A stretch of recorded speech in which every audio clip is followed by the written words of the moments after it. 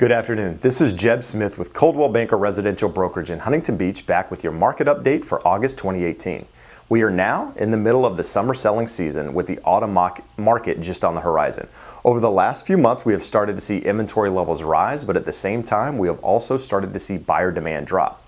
Let's take a few minutes and talk about how that may affect you as a buyer or seller in today's market. The summer season is typically known as the best time to buy and sell real estate because historically it's been the time of the year when most properties close escrow. What most forget to realize is that those homes that close during the summertime often go into escrow in April, May, and June. While the summertime gets the credit, the best time to actually sell your home is typically in the second quarter of the year, and this year has been no different.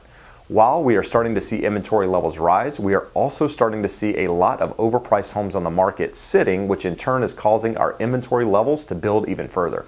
This, coupled with a recent decline in buyer demand, has caused some to think that the trend of the market has changed and is now in favor of buyers.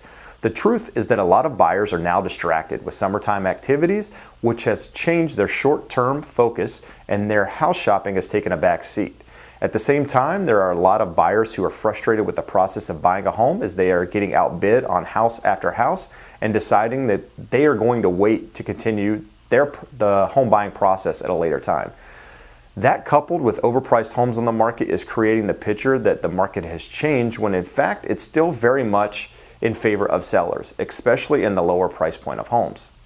This is a trend that happens every year. The only difference is that this year it's a bit more exaggerated because inventory has been so low for so long. Even though we have seen more of a substantial move in available homes for sale, we are still a ways from a so called balanced market where buyers and sellers are favored equally. This is still a seller's market with one key exception. Your home needs to be priced according to fair market value. As we move into the autumn market, inventory levels should start to level off and even decrease as we head into the holiday season.